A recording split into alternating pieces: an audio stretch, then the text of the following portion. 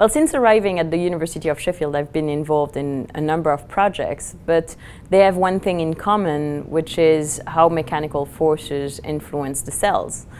So I take cells and I compress them, I stretch them, I flow liquid over them, and I see what happened to the cell.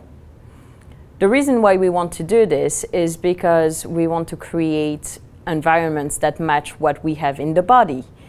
if we can create in the lab what we see in the body, we can help pharmaceutical companies to create drugs much more rapidly because we would be able to test an environment close to the body instead of testing on glass. Um, it makes me very happy to work in this environment because it's a very hot topic and it, I get to create